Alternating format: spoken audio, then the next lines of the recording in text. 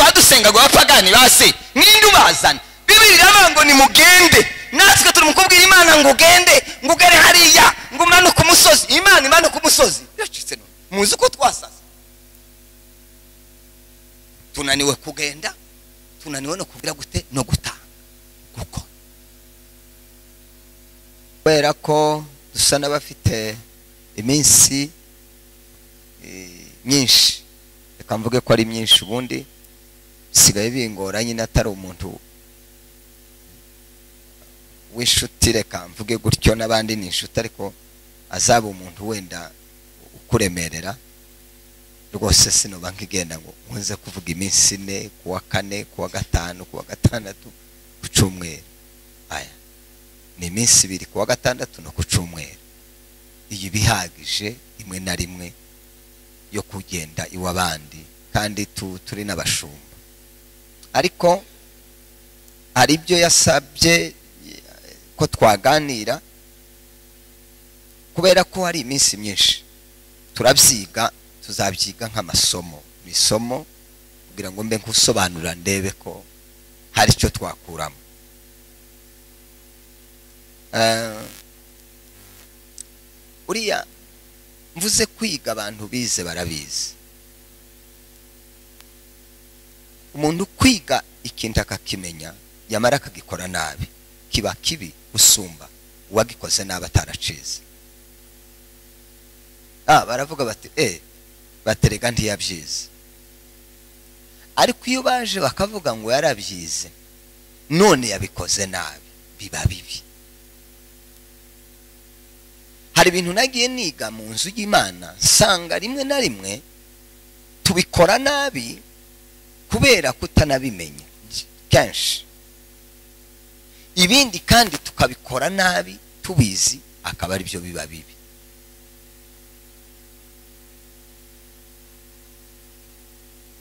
Kandi ikibazo cyabaye mu itorero ni uko abantu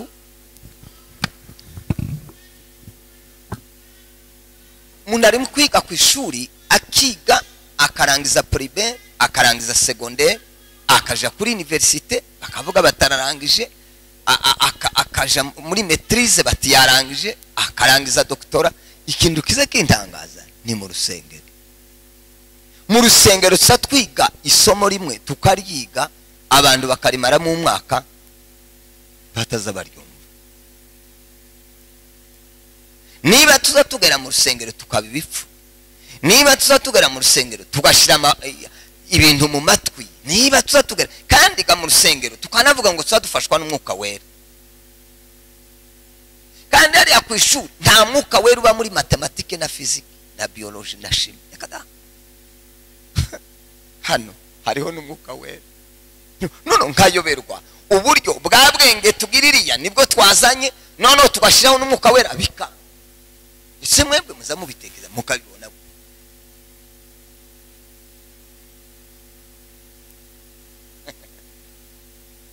hari umuntu ushaka gukena. Hari umuntu uzawumva ushaka ngo ngo abe umukene. Hari umuntu ushaka ubukene ko bwoza bukagwa ku muntu hari ubushaka.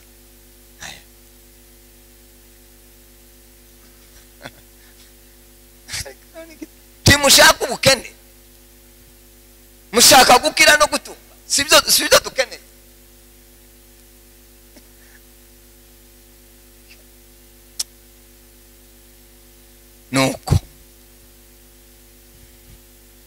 tuzumvikana tuziga hariho ibibazo nibajije tuzaganira ikintu kije. Biriya bintu byose ufite byose ni ibyawe n'abana bawe n'umugore wawe Ni- ibya famiye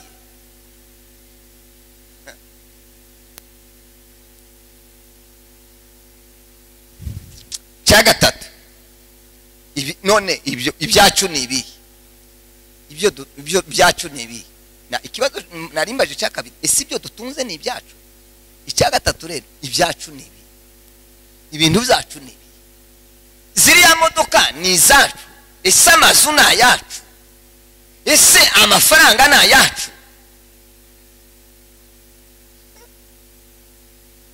Ubundi si ubwenge bwo ni ubwacu.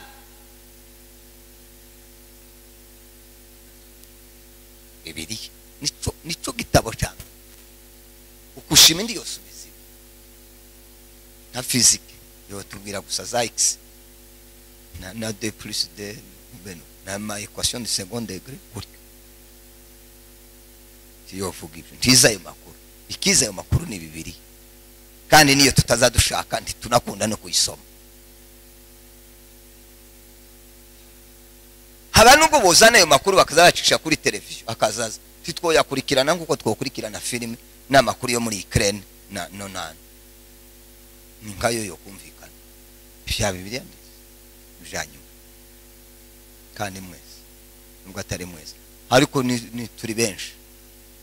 Ngo wicare ngo bari kubaraguma hariya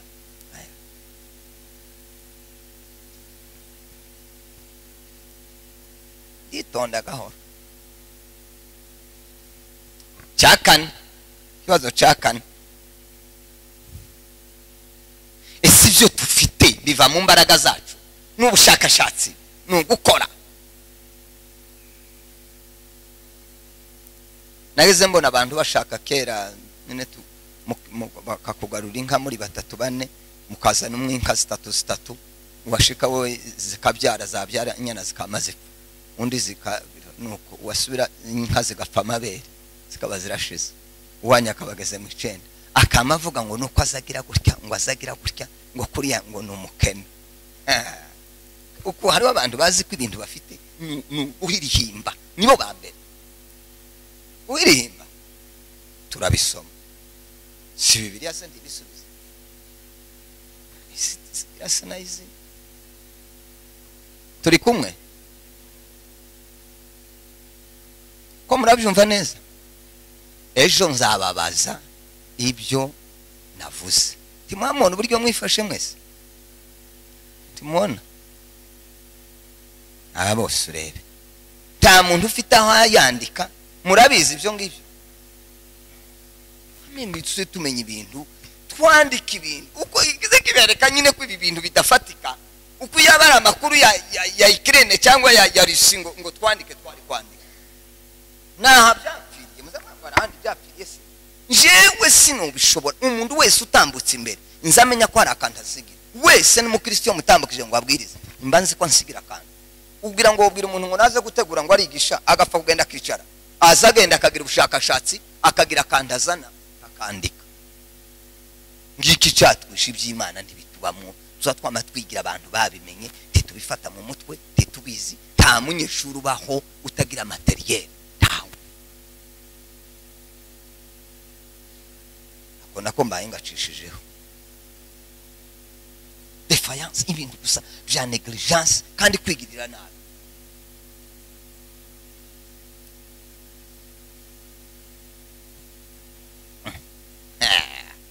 iby'imana murabifata mu- muri roho ejo se ejo si ibibazo sinzabibaza ntabyo nzobaza bidatuma bamwe ejo bataza.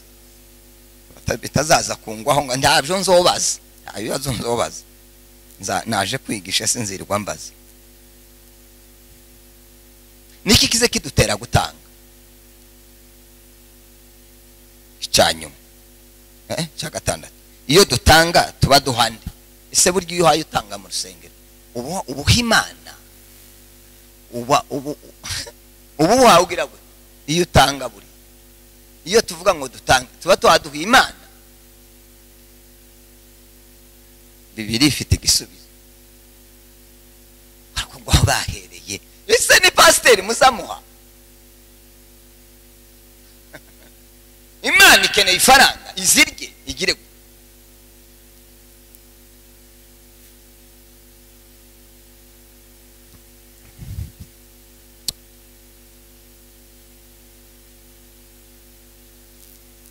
cya karindwi ingaruka cyangwa se inyungu nziza zo gutanga cya ikintu umuntu ashobora gutanga gihenze ikintu umuntu ashobora gutanga gihenze gihenze n'imana yonyine na yo ikavuga ati wapi? Ibintu si si ibintu. Eh, kibaho. Hari ikintu umuntu azatanga imana ikavuga ati uyu muntu noneho byagenze gute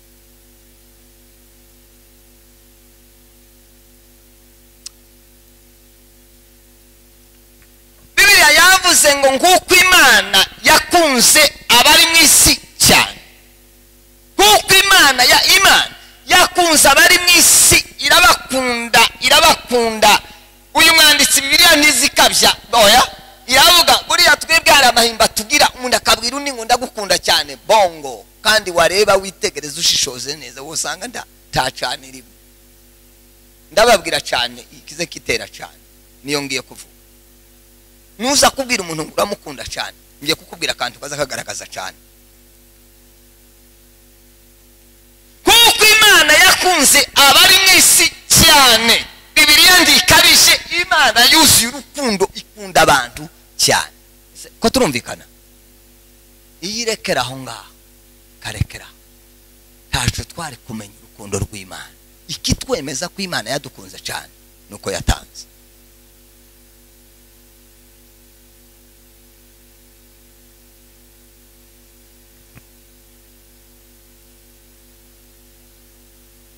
Kera ba data na ba sogokuru abantu ahantu twabanye kera mbonye uyu mubyeyi hano nahise mwibuka. Papa we yari inshuti ya papa. Baragabiranye cyane. Kandi nabimenye ndi umwana. Papa yageze anjyana iwabo akambwira ngo ni umuhanyi we. Ni kera ni mukuru ngewe ndi muto cyane. Kera kera akanshorera akanjyana iwabo ngo yaramugabiye yaramuhaye. Siko bimeze? Muhanyi wiwe. Ko hariho abantu batari abahanyi b'imana. Pe ibintu biri aho gusa ibyaho.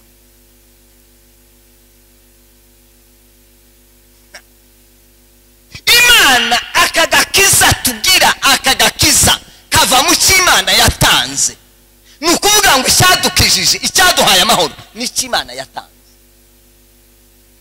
Si urukundo gusa imana yadukunze urukundo rw'imana iyo rugumaho ngo iradukunda cyane titanga. Tuba tukiri iyo turi iyo twari turi. Ariko ikintu cyadukuyeyo ese ko birumvikana? Icyadukuyeyo icyadukuyeyo twaba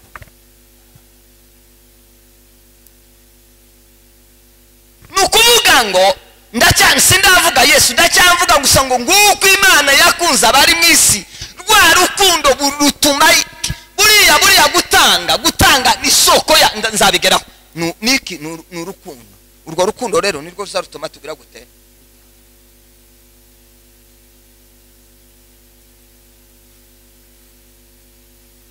Ntawageze ahura n'umuntu gusa ngo nibahura mu nzira ngo ndakugabiye.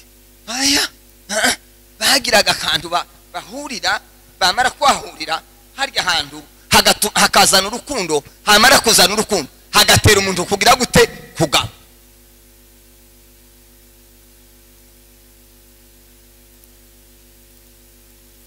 kandi ntiyigeraga arinda kubwirwa ngo bamubwire ngo ese wagabiye naka? Oya! Ni ukuvuga ngo kubera urukundo rumurimo nirwo rwamuheshaga kugabira naka. Ko birumvikana ariko?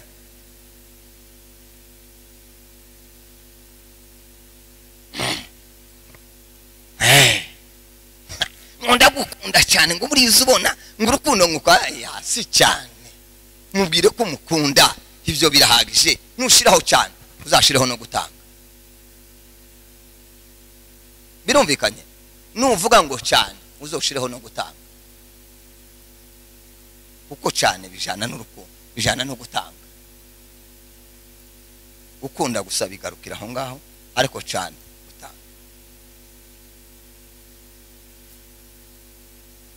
ngo imana ndayikunda cyane ngo cyane.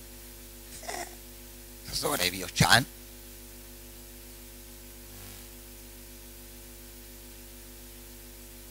Ikintu ikintu satani yatwishe yatwishe mu nzu y'imana. Tugeza. Aha aha. Satani ni ho yahagaze. Niho agira ibirindiro. Niho aza yimi. Taza ashaka ko satani ni cyo yanga. Nza nkunda gutanga uru rugero. Iyo ngeze ahantu henshi timubona ariya maturo twatanze ariya maturo yose twatanze. Kuriya tugiye kuyabaramo nta bihumbi sinzi. Twasangamo amaturo ibihumbi bitanu. Bayabare bayazane. Kugira ngo mwumve ibyo mvuga ko ari byo. Oye tu- tugende inama. Baya bayarebemo. Na yesu yaragerekegamo ariko muzi icyo nshaka kuvuga ni iki? Murebe igitangaza. Ibintu biri clair bisobanutse. Ubu ntawashizemo ibihumbi bitanu. Ariko hano uwo dukora mu- muri portemon birimo. Birimo. Birimo. Ni ukuvuga ngo urukundo ni rwo rudutera gutanga byinshi cyangwa se gutanga bike.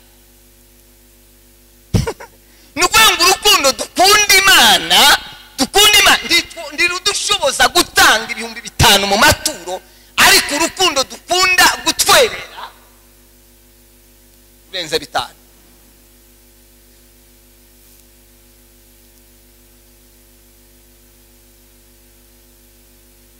Ariko tugiye kuririmba hano ukaza usanga abantu bafashe pozisiyo y'uburyo baririmba ukare ese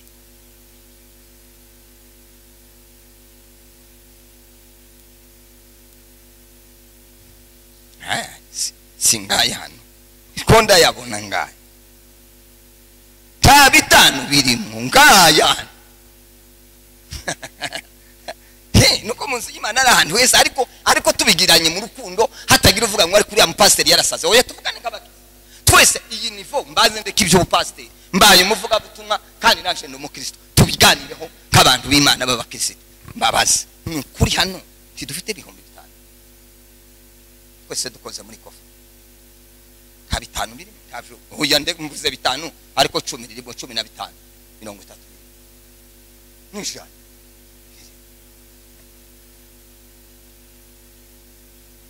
nibaza two kwigisha abakirisitu imyaka icumi imyaka makumyabiri imyaka mirongo itatu. Umuntu yiga iryo shuri ntaritore. Muno ni esheke gusa ni esheke ni esheke.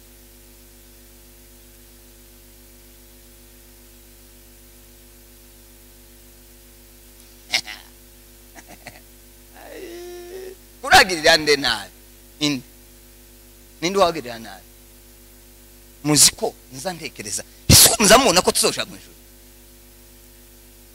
Nimba tuzoja mu ijuru muza mwemera ko ibi bintu tuzabisiga. Niba tuzabisiga ese uzahemberwa ibyo wasize cyangwa uzahemberwa ibyo wakoze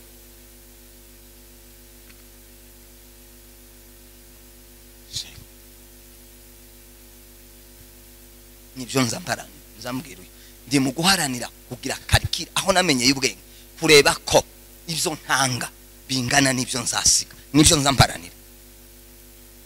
Nzamvuga ngo ninubaka inzu nzareba ko ibyo maze gutanga bingana n'inzu. Nimba bitaraje mbanze ngire gutya. Kuko iyi nzayisiga ariko ibyo ntanga nzabisaba. Ibyo narabitahuye cyane kabisa cyane pe. Sinakubaka inzu ebyiri eshatu. Narabihakanye. Kandi imana izabimfatireho sinubikora. Sinukubaka inzu eshatu hano. Mpaye mbona ko ibyo natanze bitangana n'inzu n'imwe. Kubera iki? Naba nzamvuga ibyo nzamvuga ari ikinyoma kwiriye kuvuga ibintu mpagarariraho ngewe. Utabyumva wewe uvuga ngo ndi umuswa uvuga ngo ni umuturage uvuga ngo sinshaka kuja imbere. Sawa tuje imbere twese ni ugupfa. Songa mbere ni ugupfa. Tunga byinshi ni ugupfa tunga bike ni ugupfa bakuririmbe ni ugupfa bareke kukuvuga ni ugupfa sasa tuzarebera abakire mu ijuru. Hano ni sawa hano twara indege twara imodoka twara amazu sawa nta kibazo. Bavuga ngo urya ngo byaranze tuzamenya aho bizangira nitugera mu ijuru naho hariho. Siko bimeze? Mu ijuru ubundi hariho. Tuzabimenyerayo. Twagazeyo ababose tuzabamenya mu ijuru kandi ga ni ho tuzoba iteka n'iteka. Hano se ko umuntu akira agakira agakira bwaca agapfa akanabisiga bikaba birarangiye ariko ga mu ijuru ni ho tuzaba milele na milele tutakapoka nyumbani kwa baba ni ho tuzatura iteka n'iteka. Umuntu uzokuba yaragiye atarakoze. Azaba umukene namwe ko murumva.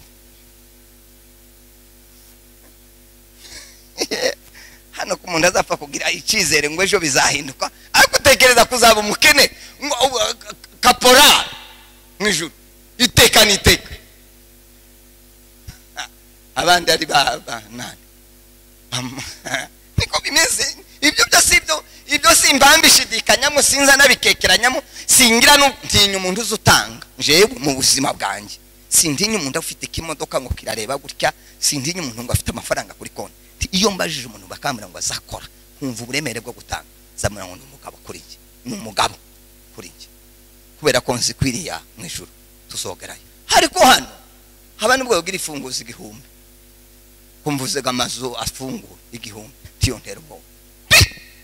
Pi! ubundi se yandera ubwoba gute? Angaburira utamfasha utandwara mu modoka none se ubundi ubundi ni ugutinya gute? Ukubahira urwego rwawe urimo? Ahubwo ndacu ndera ubwoba iki? ndazatera ubwoba nu- n'umufasha.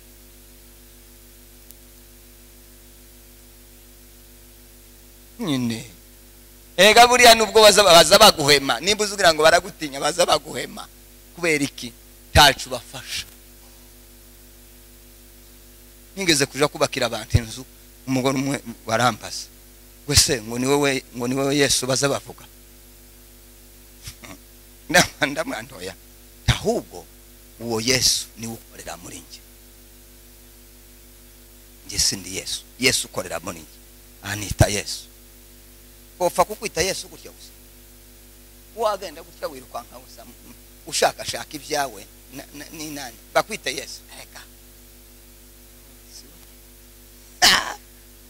ariko umuntu uzogirira neza azakwita yesu. Si- siko birumvikana kambabwire ibintu na- nasomye kuri google abantu b'abashakashatsi uburyo bavuze hejuru y'umuntu utanga. Natangaye. Bavuze ngo hari ubushakashatsi bwagaragaje ko iyo umuntu atanga ngo ubwonko bwe bumenya ko yagiriye undi muntu neza. Ubwonko. Abashakashatsi baravuze ngo iyo umuntu atanga agafasha abandi agatanga. Ubwonko bwe buza bumenya ko yagiriye umuntu neza. Ariko iyo wikoreye wowe ntabwo ubwonko bwokubwira ngo wabize neza wiguriye urukweto oya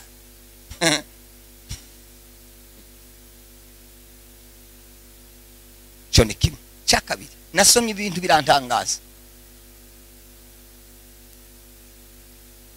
Kandi ngo iyo uhaye umuntu bitera ibyishimo kuruta uta- iyo uhaye umuntu amafaranga iyo umuhaye nyine kumufasha. Ngo ugire ibyishimo kuruta uko wo- woya- woyakoresha ngo wigurira ibintu. Iyo iyo utazi uha umuntu umutima uza ugira ibyishimo ngo kuruta kuruta uko wobigirira undi wa- wabyigirira wewe. Iyo iyo ufashije umuntu umwenda bi- birakunezeza kuruta uko wowe wigurira.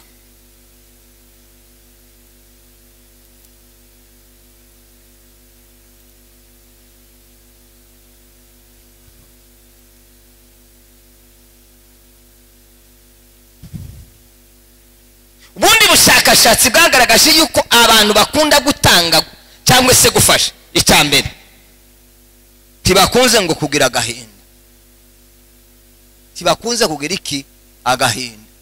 Kandi ni byo. Nibyo ni ukuri. Hari utuntu umaze gupima nanje nasanze ari byo. Umuntu ukunda gutanga umutima ukunda gutanga. Ngo ngo kenshi ngo ntibagira agahinda mu mutima. Uko ako gahinda ugira kakokamye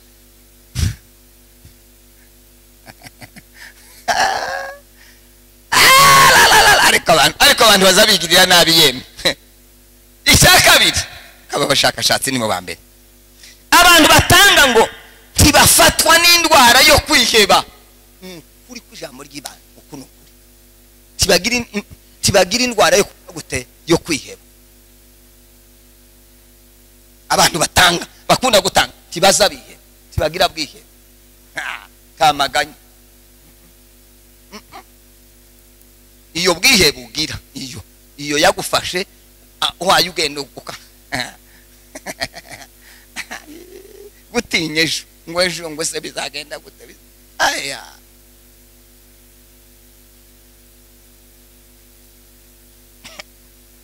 Kabosa. Kandi abantu abantu bakunda ku- kugira gutya. Bagira ba- bagira bwihebe. Wari wasangaho umuntu ufite inzu ebyiri kandi ufite n'umushahara ugasanga akaraganya. Akaba afite n'ubwana bubiri. Undi akaba afite abana icenda. Akaba ari umufundi agatahana bitanu. Yashika bakarya akama aryama akamasinzira akamahwera. Undi nawe kubera bwihebe akarara yicaye ari mu makarikiye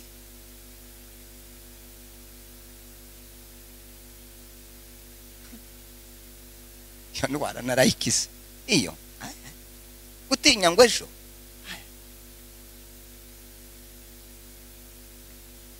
twigeze kuganira na pasiteri ni we wigeze kungangahura rimwe kandi tumenyanye vuba angangahura ku bintu bimwe sinarinzi ngo ejo fuwa ngo sinzobaho sinzorya ngo sinzokira ngo sinzogira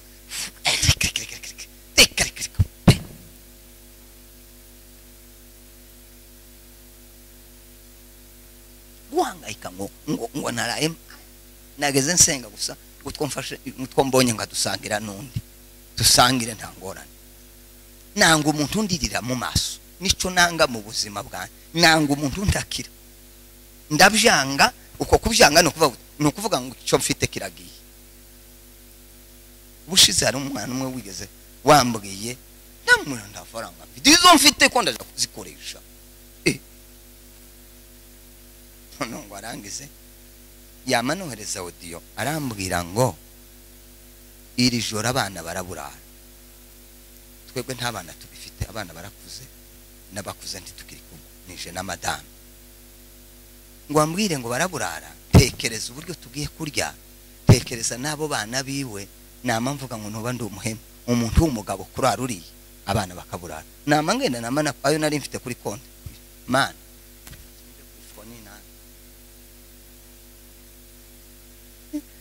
nama numva ko umutima uruhuka.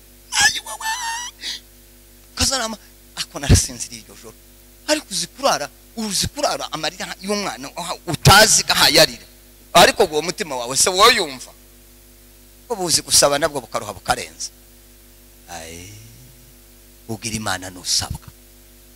Ugira imana nusabwa. Nubona uri kurasabwa. Uzoza ushima imana uvuga uti haleluya. Bwana sifiwe usabwa. Nicyo kintu mbere cyiza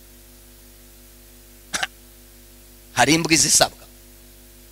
Hazasabwa umugabo. Nk'umugabo ni we uzi usabwa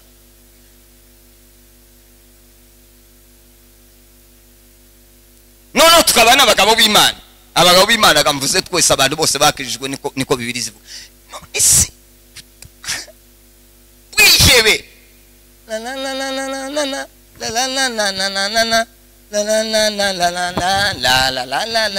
n'ibibazo gute bavuga kuko kwiheba ufite n'ukwiki urara udasinziriye kandi yesu yaratsinze yewe mwana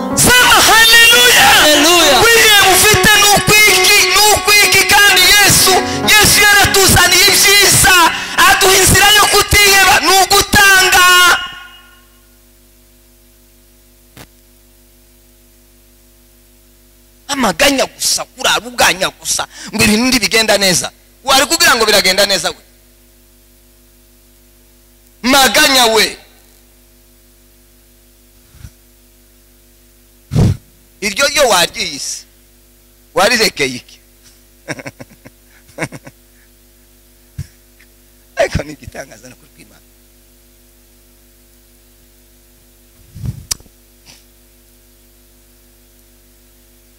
abantu batanga ngo ntibagira utubazo two kumva batameze neza. Gutanga kuvuza gutuma umuntu yicara yumva amerewe neza. Nibyo. Nanjye ndabyemera. Tuzi uhangayika ngo wumve ko wahangayika. Kurya ry'amahangayiko yose iyo mihangayiko yose ntu- nturamenya gutanga.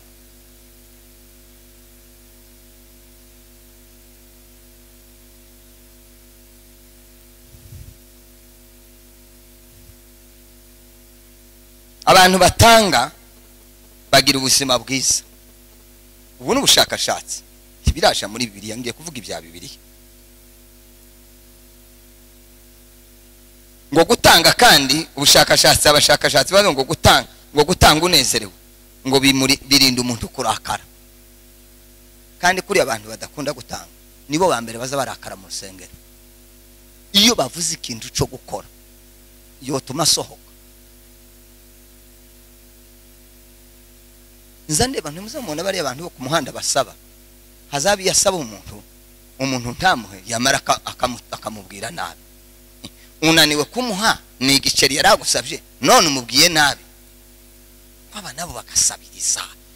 Wakwicecekeye kutamuhaye wacecetse. Kubera umutima mubi gusa w'umuntu. A- a- aka- akakimwima yamara akagerekaho kuva. Uburakari badakunda gutanga ni abanyaburakari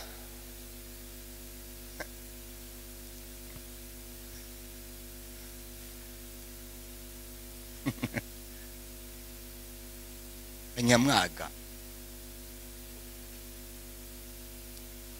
none ibi na byo babivuze ndatangara bavuze ngo ngo umuntu ukunda gutanga cyane ariko. Ngo ubwo ni ubushakashatsi umugore n'umugabo ngo umuntu iyo akunda gutanga cyane ngo iyo apfushije umugore bimurinda guhahamuka. Ku ni cyo gituma muzamubona abantu bahahamutse byacitse nabibonye ejo bundi. Namye mvuga ngo nzongereza sinzi ko uzopfa nje n'uwacu gusa nuko nabwiye imana ngo ari uzopfa mbere sinza mbimenya iby'imana na yo uza uyibwira bimwe ikabikubita hasi kigira ariko nk'icoco narakisabye cyane ariko naravuze nti reka nongereze gutanga ubu umenya ejo apfuye yahamuka ntizo- ntizongera icyo na cyo ki- kiroroshe ga si ikintu si ikintu cyo kwirirwa umuntu agira guteganya ikintu cyatunaniye ni uko twigana ibindi ariko iyo tugeze kuri ibi namye mvu- namye mvuga ejo bundi maze kubitora. Naba mburanda iki ngiki cyo kivuye mwihahamuka rirarangiye u- no- nzongereza uko na- na- natangaga noneho nimba bibaye ntazankoraho ane icyo nacyo ki- kidasabye amashuri ntigisabye kujya kuri university. Umuntu wese yagikora ariko ndi kuko simvuze ngo ni muri bibiri kandi si njyewe ni ubushakashatsi. Nasomye nsanga ariko bivuga. Kandi turemera ubushakashatsi twese. Ibi bintu byose tuvuga ngo nakayade kuvurire ngo ibi ngo yavumbuye ibi yavumbuye ibi niko bimeze. Turabyemera. Na biriya byose byinshi twiga turabyemera. Ni abantu bavuga bati nakayavuze gutya yakoze iki ngiki? Tukacyemera. Ni iki na cyo tucemera mugende mutange. Abagabo bose mwige gutanga cyane. Abagore nibaje mu ijuru ntituzahahamuka Ko- ariko aka kantu naragashimiye yemwe ikindi cyantangaje bavuze ngo gutanga bikomeza ubushuti kandi bigatuma abantu babana neza. Gutanga biza bizana ubushuti mwukabyaramwe ni cyo kintu cya mbere gutanga bire mu bushuti kandi bituma abantu babana neza. Nta bantu bagabiranye bahanye baza bangana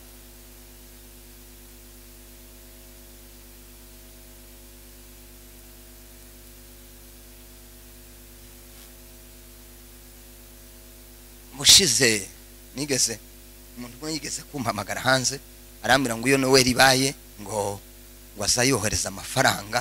Ngo yo gufasha abantu. Noneho arambwira ngo yandebye kuri youtube. Ngo umutima urambwira ngo yombe amafaranga. Ntiwakubesha arayohereza ibihumbi magana atatu mirongo irindwi n'umunani.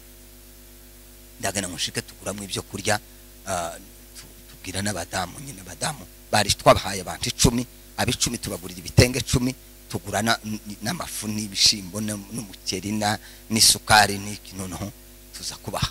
Noneho umugabo umwe mbwira umuntu ushakira abantu bashobora kuburara rino joro aba ari dufasha noneho aragenda ni umuzamu abwira umugabo umwe agendana ubumuga abana n'ubumuga. Noneho ngo bamubwire ngo ndamushaka. Yamabwira umugore wa mugore w'abana nijoro bararya. Ati abana bararya. Kandi ntiyarazi nabwo bwari ubwa mbere baraza ngo bashike. Nyine ngo ashike asanga n'ibyo tugiye kubaha ibyo kurya. Ejo bundi umugore yaraje nuno arinjira mu nzu sinanamumenya none ngo ashikaza aza kubwira madamu ati ikintu mwakoze ndashaka kuza mu rusengero. Ndashaka kuza mu rusengero. Nabwiye iwacu ndi nubona gusa araje. Dupange Ati, ibyo kurya ni byo bya mbere biza bihamagara umuntu ni byo bya mbere. Uku nguku mwebwe mw'abakirisitu uku hano hanze dufite twobwiriza mirongo ine kamiza tutababwiye matayo karindwi n'umurongo w'umunani tutababwiye timote wa kabiri igice cya gatatu n'umurongo wa gatatu. Tutababwiye yohana iki gice cya gatatu nk'uko imana yakunze abari mu isi. Ibyo ari abantu batabizi kunda abari mu isi gute. Ngo bikunde nka burara. Twufata umwanzuro wo kuzoza dutanga. Ukaja ku muntu gusa ukaza isabune buri kwezi buri kwezi isabune buri kwezi buri kwezi cyangwa ikiro cy'isukari. Ari umupagani. Byoza gusoza yaje. Byosoza yaje. Ariko ni ukurya gusa tuza turya tukami- tukamira twamara mwami yesu kirisito haleluya! Mu izina rya yesu kirisito bariya bari hanze ubazane ba- ba- abazanije indi uje kubazana? Imana yaradutumye none natwe ko turayituma. Unanirwa gusa.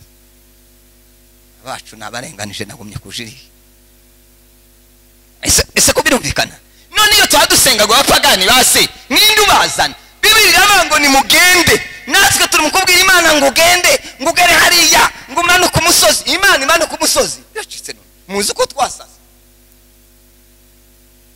tunaniwe kugenda tunaniwe no kugira gute no guta guko.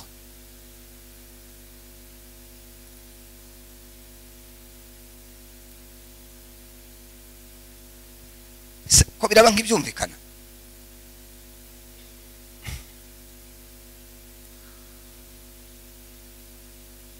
abaroma ibice umunani mirongo itatu na kabiri. Mvuge gutanga bikomokaye nimara ndiruka nje ku, nyungu zo gutanga n'inka zo mpangira nirukanke gatoya aba ari zo mvugaho mu mwanya mutoya gira mu- mutahe ibindi tuzabivuga ejo cyane abaroma ibice umunani mirongo itatu na kabiri. Eh soma. Mbese ubwo itimanya umwana wayo ikamutanga ku bwacu twese ehe. izaba urute kumuduhana n'ibindi byose? Eh, sema haleluya kuko imana yakunze abari mu isi ndagaruka kuri yakunze abari mu isi itanga umwana wayo w'ikinege. Bisobanure ni ukuvuga ngo umwana w'ikinege nta wundi wari iruhande. Ni nka kurya uvuga ngo ufate ikintu utanga utange nta kintu usigaranye iruhande. Muri bibiliya zobabwira abantu batatu ba- batatu ngo batanze nta kintu basigaranye n'iki kimwe. Kimwe. Icyitegererezo.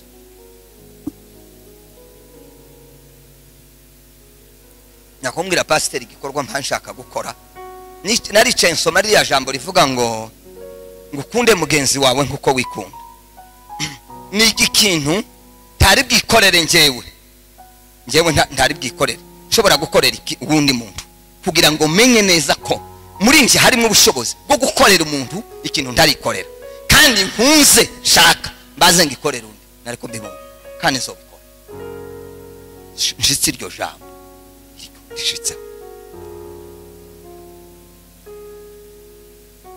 umwana w'ikinege twebwe turi mu kunanirwa gutanga. Dufite ibyo dusiga imana yaradukunze kubera urwo rukundo rurarenga. Ifata umwana. Ni nko gufata ikintu kimwe akagitanga nta kindi. Ubu nyine uwo bibabwiriza ngo ngo abivuge. Bavuga bati uriya mupasitori uriya. Uriya sitembandi karashaka kutwambura. Babambura ngo bije. Bifashe Bidu- dufite iyihe nyungu twebwe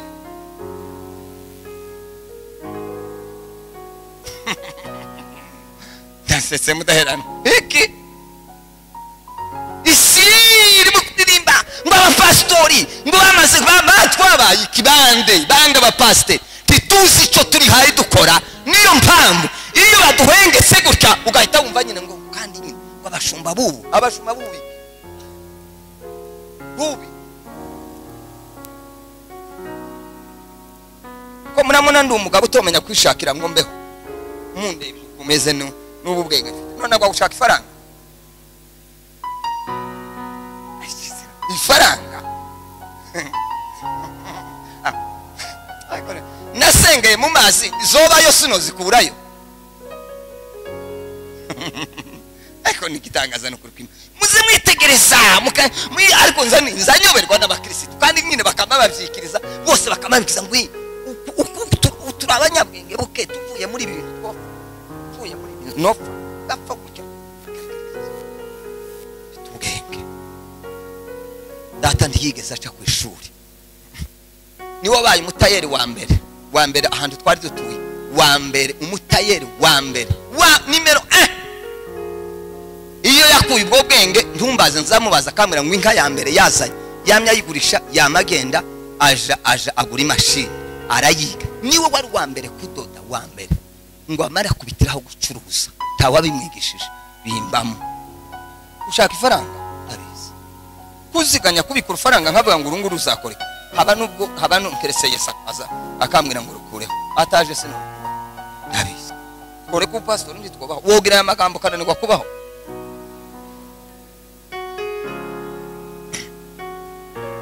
Ariko hari ikintu satani yazanye ese turi kumwe? Mwavuga ngo ame. Satani kubera kutubuza imigisha nzobikoraho akagenda agafundika umuntu agafundo mu mutwe akagakubitayo. Abandi bagakora bagakora bagakora. Hari izo dukora bizatuzanira inyungu. Hari izo dukora bitazatuzanira inyungu nk'abo hanze. Kuko umugisha wabo abantu bakiri ku isi kurya lazaro na nyamutunzi. Baramubwiye ngo yewe nyamutunzi we ibyawe wabihawe ukiri ku isi. Ahasigaye ahangaha nta gisubizo. Nimba warariye neza ukambara neza byararangiranye n'ibyo hano ni ba lazaro bahageze tuzogenda n'amaguru tugende n'amaguru. Ariko ariko sinzaje mu ijuru. Imodoka zo nzazigenda nuko noneho nitugera mu ijuru. Nuseruka reka tuzamenyana icyo cyo ubwenge bwo buzoba ari ubwenge mu tuza- ngo zaba dufite ubwenge nk'ubwa yesu. Abantu ntibazonyoberwa budahera inyenyeri ahangaha ko ziragira gutya. Nawe udutambaro hano nitwo twa- twaka. Inyenyeri n'udutambaro muza mubona bisa. Kandi nyine ndakwifuza kuzohaba ngo umuntu azanyurwa nuko n'utambaye urukweto azanyurwa ni- n'iyo sereri nyine. Undi yonyurwa n'isereri none ko ariyo wakoreye woreka kunyurwa gute? ariko izaduhemba iyo mana izaduhemba nitwakora neza. Izaduhemba nitwihangana. Izaduhemba izaduhemba izaduhemba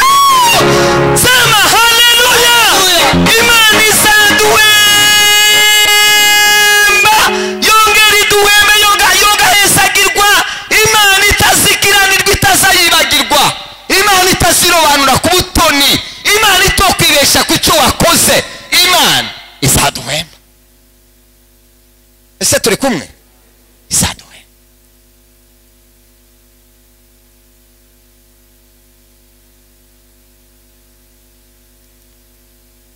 Gutanga bikomoka ku mana. Nubona nubona umuntu ukunda gutanga. Yabyawe n'imana. Ise ni imana. Nawe byananiye ufite so nurya nyine bazavangwa imfi z'indame zite- zitega nkani kasi urabikura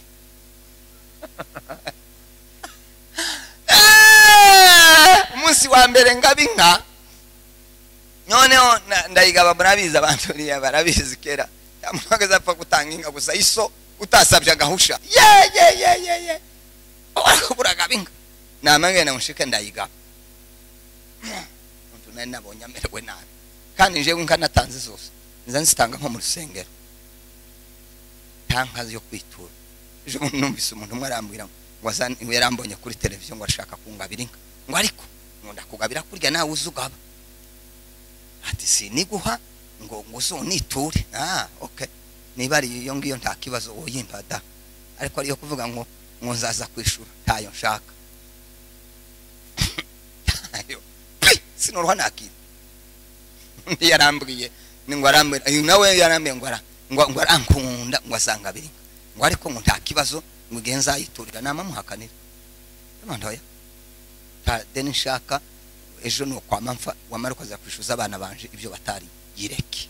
Yihorere genda uyigabire undi uzituza nanje zanje nzazitanga buryo ngo mare papa umunsi umwe aranicaza maze kumubwira. Ndamaga ntijya nyana narayigabye. Wayihaye nde? Ndamubwira. Arande. Nama mvuga urupfu rurabaye. Arandeba ngo amare yambwira ngo sha ngo uri umugabo. Ngo usigaye wibwiriza ngo gutanga ngo uri umugabo. Ndavuga- nti ni yesu wanjye mugabo gusa yesu mugabo.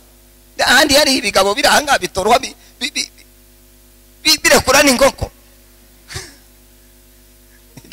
Nigeze- kubona umugabo umwe bari baramwise ngo ngo senki dolari ni wa- naho nari nshumbi. Twagaze tuza gukora gusa uko tugiye yari afite nk'ingi ijana zirenga. Bagahagura tukaceceka. Haleluya bati amen. Haleluya bati amen. Vuga ese haleluya ni igiki ngo nanje ngo nanje ntanze dolari zitanu bamamwita senki dolari uku- uku basenga idolari ntitubazi ariko barahari tiyo tiyorenza ibihumbi icumi haba n'ubwo bomwica ubuzima bwe gusa ni dimire dimire di muzomuneke mumwite dimire Eh, umuntu yohora gusa ku icumi icumi icumi icumi umuntu w'umugabo ndi wo ndi wohindura ngo utange na cumi na kimwe Eh, twigana imana nk'abana bayikunda sema haleluya kumenya gutanga ibiremereye ikintu kiremereye uwaye wigana imana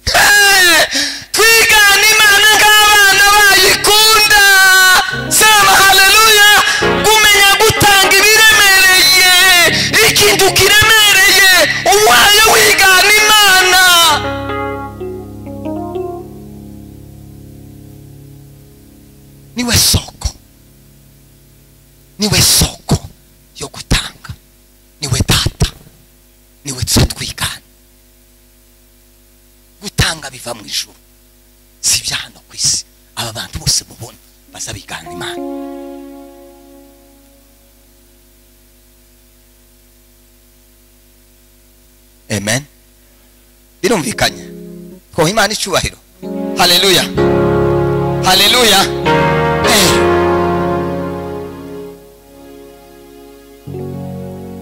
ejo bundi bambwiye umugabo umwe twari tu- tugiye gutya none twari mu kiriyo baguma kunereka umugabo umwe baravuga ngo uriya mugabo twari dusohose duherekeje abantu baramaze nta mugabo wabonye nti namubonye ngo uriya ngo ni uwa mbere ndetse ni ati ndakufa abayeho nta muntu wageze ngo amubwire ngo afite ikibazo ngo amubwire ngo ya yageze amubwira ngo mbwiriye inka.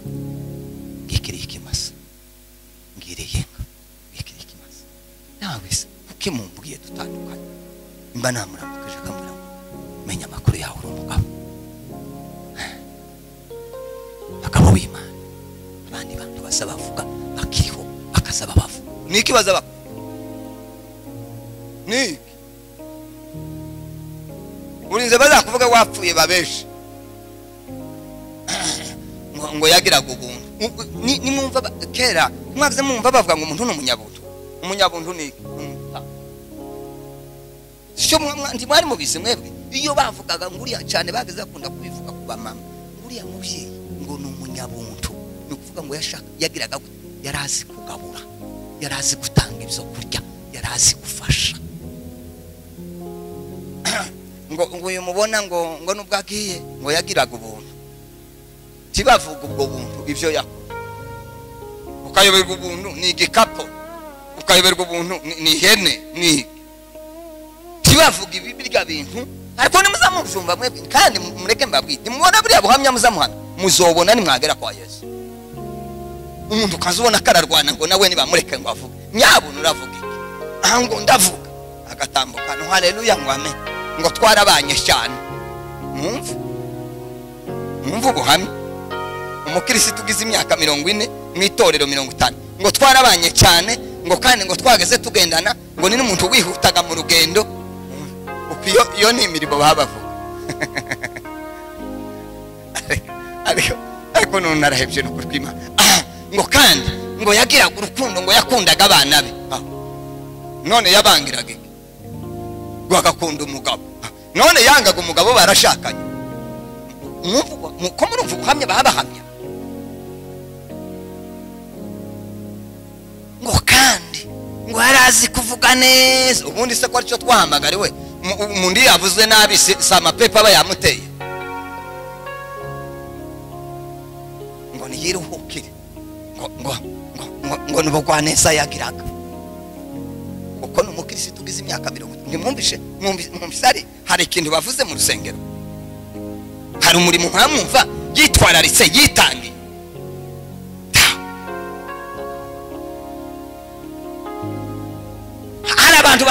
batambutse imbere ngo bavuge bati uyu uyu uyu kwanza ntimubizi mwebwe. Mwobona ibintu yankoreye. Mwari mwabumva bavuga ngo ahubwo ngo yatanze rwihishwa abantu batabizi ko rwa rubyiruko rwarabuze mwongeretse. Ngo udafite uwabo ni we utazagera mu ijuru. Nawe ufite uwabo ni uko abamuzamura ngo yagiye yagezeyo. Gutanga gutanga. Gutanga ni biratureba kandi uburyo mutuje ko ndabona mwamwumva oya reka tubizane mu buryo bitari byo ariko ari ubu nyine ubu nyine ugapfa reka mvuge nje. Ndagira uvuga kuvuga mu uriya muntu. Umupasiteri zamabwira abantu bagapfa ndabireka nimuzopfa cyangwa abapfuye nije wari wavuze ngo nibapfe. Uzi ko abantu ako ni igitangaza. Oya tuvuge pasiteri nk'ubu nyine ukumva ngo umuntu arara ugaseruka imbere y'imana. Kurabona ngo useruka niki ah iyo ni ibanga ryawe ni imana. Niki woseruka? Tureke ibi ngibi kandi twe ntitubizi ariko iba nkwifata mu ruhande rwawe ugaseruka imbere y'imana. Ni niki wakoze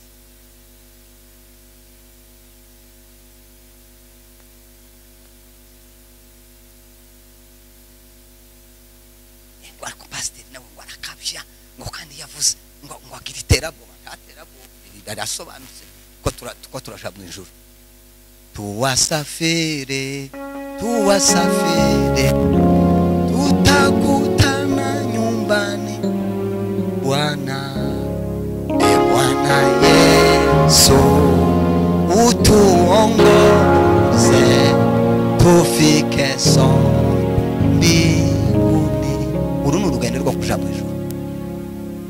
tubyanga tubikunda tuna safari ya kwenda mbinguni. Ukifariki leo hii ukifariki pumzi ikiondolewa mbele za mungu ni kiwakozi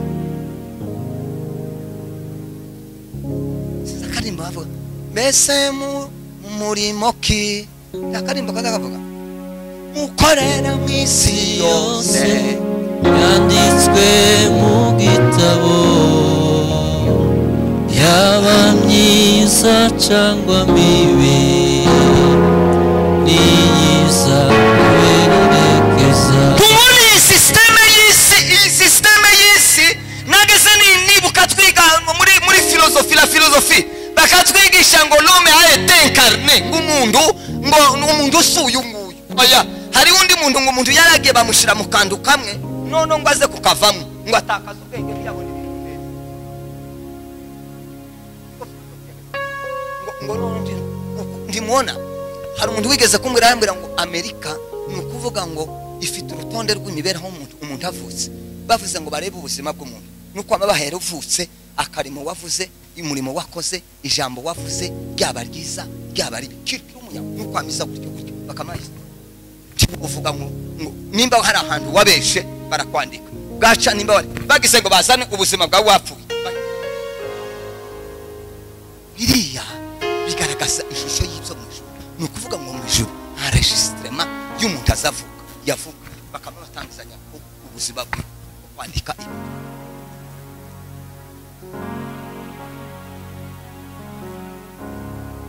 yaba myiza cyangwa mibi? Niyiza duherekeza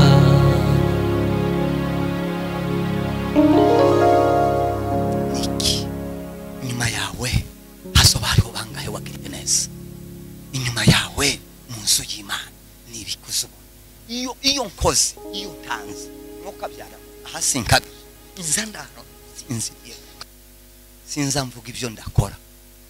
Bigende bimanye hano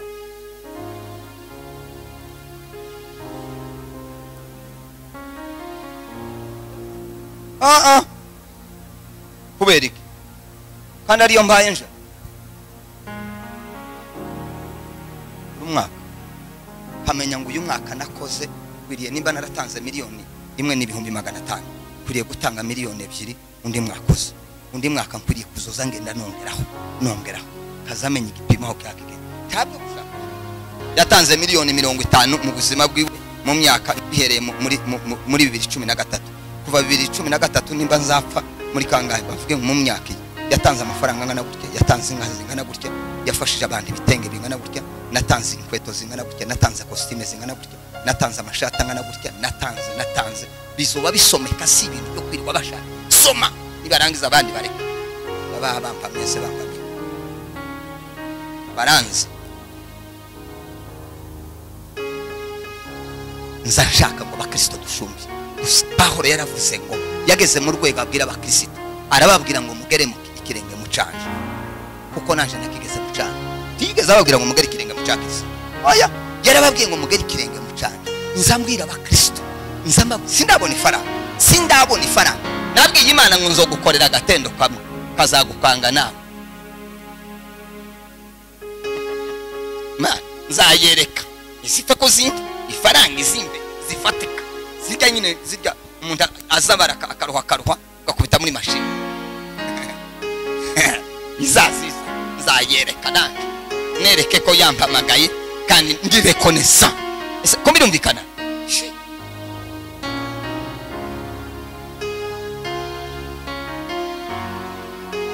Eh, se dufata abana bigishe ku kigo uriho igihe- igihembwe cya mbere ibihumbi magana atatu na mirongo itanu igihembwe kimwe ibihumbi magana atatu na mirongo itanu Ha- hariho abandi bana igihembwe bari bakwiriye kurihirwa mirongo itanu wamara ugaseka uri kurarihira abana ngo igihembwe kimwe magana atatu na mirongo itanu abandi hano bicaye iyo ni ibintu ariko i- makao yetu ya milele. Makao akazayirengeza mazuri ya ajabu. Tutafurahia na utafurahia na nini? Utafurahia. Shitse nono utafurahia. Abana bagende n'imodoka bashike ku ishuri baze barya imigate na, na, na, na mayoneze na, na nani na, na, bashiremo n'ibyatsi n'ibitunguru n'ibiki byose arya hanya. Dukizwe. Mureke twiga ubundi bwenge buzana abantu kuri yesu. Sema amen. Ni ukwigirira neza. Reka nsoze ejo. Ejo nzavuga. Ejo nzavuga ibintu. Ubu ndabyo hari hari n'ibyanditswe nasomye ejo nzaba mureke tuzane abantu tubazanije gutanga baza bavuga ngo kera abazungu agakiza kabadata n'abasogokuru agakiza kazanwe n'iki n'umunyu n'imyenda. Babakubita umunyu buryo uryoha imboga za bageze barya imboga zitari mu munyu.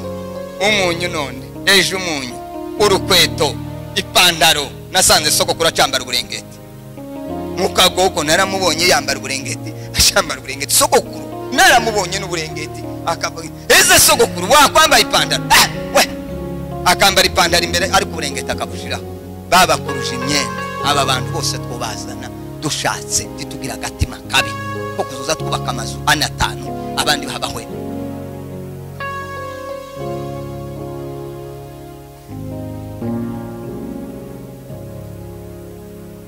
zambwira abantu sinotangira itorero ntaborijamo sinubona abakiriya